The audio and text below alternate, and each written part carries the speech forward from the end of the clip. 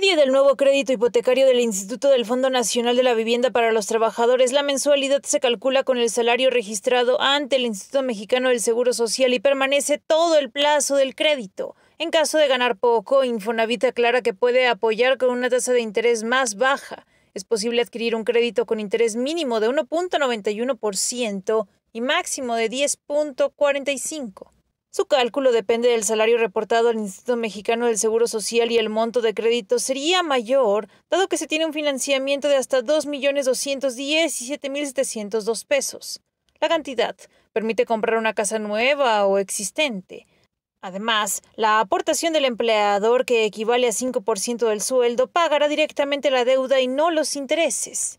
Ello permitirá que la mensualidad sea fija aun si la persona pierde el empleo, de manera que se logre cubrir la totalidad del crédito en menos tiempo. Los cambios que sobresalen con el nuevo crédito hipotecario es que el interés ya no será de 12%, la cuota del empleador será directo a la deuda y en caso de perder el empleo, el acreditado no tendrá que absorberla. De igual forma, el monto máximo de crédito será hasta 371.537 pesos más alto que el previo. En ese aspecto, el Infonavit recuerda que los programas de apoyo continuarán cuando la capacidad de pago se vea afectada. Al momento que se firma un crédito, desde el organismo se entrega una tabla con el monto de la mensualidad, en tanto esté vigente el financiamiento y cómo disminuirá el saldo cada mes. Nada tendría que cambiar ya que el pago será el mismo siempre. Quien desee saber si alcanzó el puntaje para tramitar su crédito y la mejor opción puede ingresar a mi cuenta.infonavit.org.mx.